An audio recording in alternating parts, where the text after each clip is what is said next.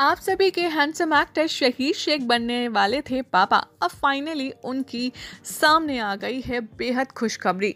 आपकी इन्फॉर्मेशन के लिए बताए चलते हैं कि शहीद शेख को हुई है नन्नी सी बेटी और अपनी इस बेटी की खबर सुनकर शहीद शेख तो फूले नहीं समा रहे हैं। इससे पहले भी आपकी इन्फॉर्मेशन के लिए बताते चलें कि शहीद शेख के लिए तो उनका सपना पूरा होने जैसा है, क्योंकि शुरुआत से लेकर अब तक शहीद शेख को अपने लिए छोटी सी बेटी ही चाहिए थी। जहाँ ये रिश्ते हैं प्यार के एक इंटरव्यू के दौरान। शहीद ने इस बात का खुलासा किया था कि उन्हें बच्चे बहुत पसंद है और जिसमें बेबी गर्ल तो उनकी सबसे ज़्यादा फेवरेट है।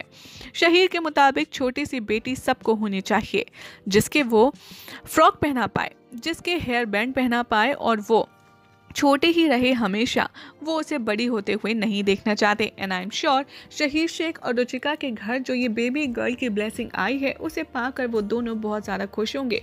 वेल बहुत जल्द हम आपको शहीद शेख की इस नन्ही सी जान की नई तस्वीर, उनका पहला लुक भी दिखाएँगे।